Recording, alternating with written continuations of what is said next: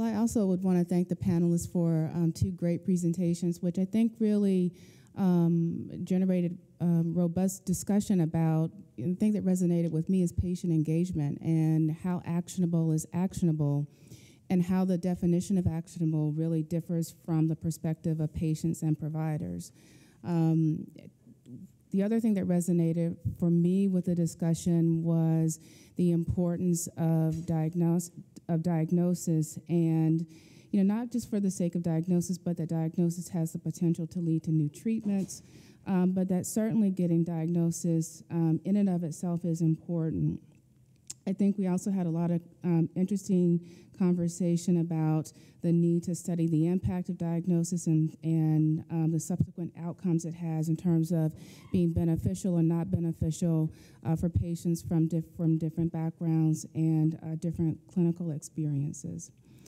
We had a lot of conversation about the importance of patient engagement um, and really working more actively to engage um, patients and families to leverage their energy and clinical um, experiences with the disease from the day to day experience um, into the next iteration of CSER.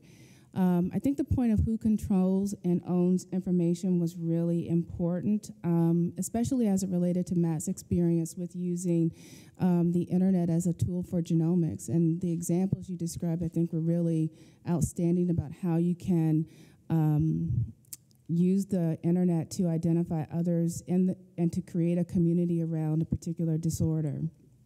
I think the other thing that really resonated with me was um, how to package information to benefit patients best.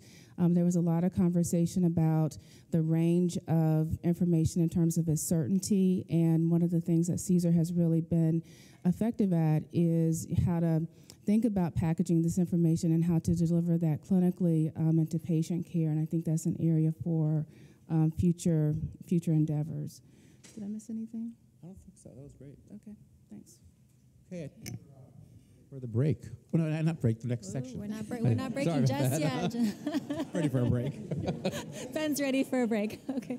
Um, thank you to the panel. So next we have our increasing ancestral, socioeconomic, and clinical diversity session, which will be co-moderated by Pilar Ossorio and Greg Cooper, with talks given by Jim Evans and Carlos Bustamante on the phone. So um, bear with us. I, I think we um, are in the process of getting Carlos on the phone to join us.